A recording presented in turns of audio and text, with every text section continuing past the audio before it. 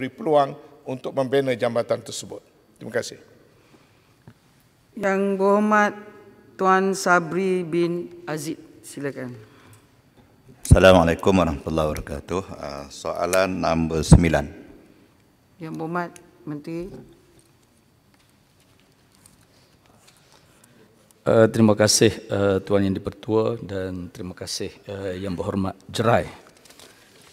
Yang Berhormat Jerai memang uh, merupakan seorang wakil rakyat yang sangat prihatin dan sensitif terhadap kepentingan dan kebajikan para petani khususnya para pesawah.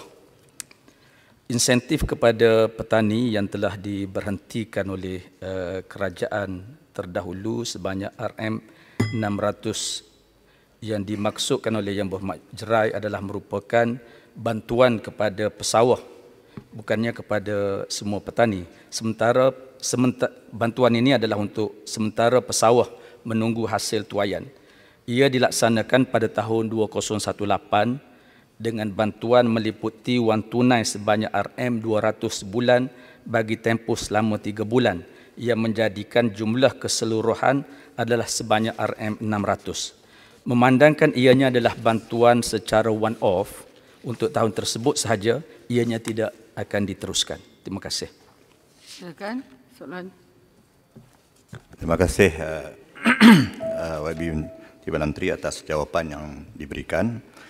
Uh, saya tak nampaklah untuk uh, program ini ataupun intensif ini dihentikan dan uh, dengan keadaan para petani kita sekarang terlibat dengan uh, benih padi yang melambung tinggi dan sebagainya, adakah uh, pihak Kementerian Bercadang untuk memberi intensif baru bagi mengurangkan uh, kos sara hidup petani dalam tempoh PKB ini? Sekian.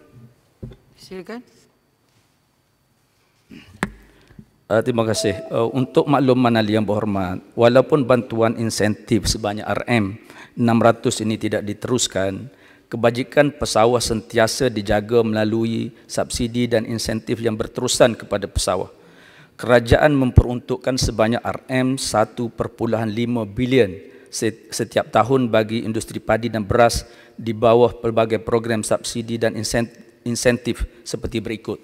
Subsidi baja padi kerajaan persekutuan, insentif pengeluaran padi, insentif benih padi sah, skim subsidi harga padi dan juga subsidi baja dan racun padi, padi bukit dan padi huma. Jadi pelaksanaan program input dan output pertanian bersubsidi berkaitan industri padi dan beras ini juga akan diteruskan pada tahun 2021 dengan jumlah peruntukan sebanyak RM1.57 bilion berbanding RM1.55 bilion pada tahun 2020. Peruntukan tersebut adalah peruntukan ini adalah menasabah mengambil kira pelbagai penambahbaikan industri padi dan beras yang sedang dilaksanakan oleh kementerian pada masa ini. Terima kasih. Yang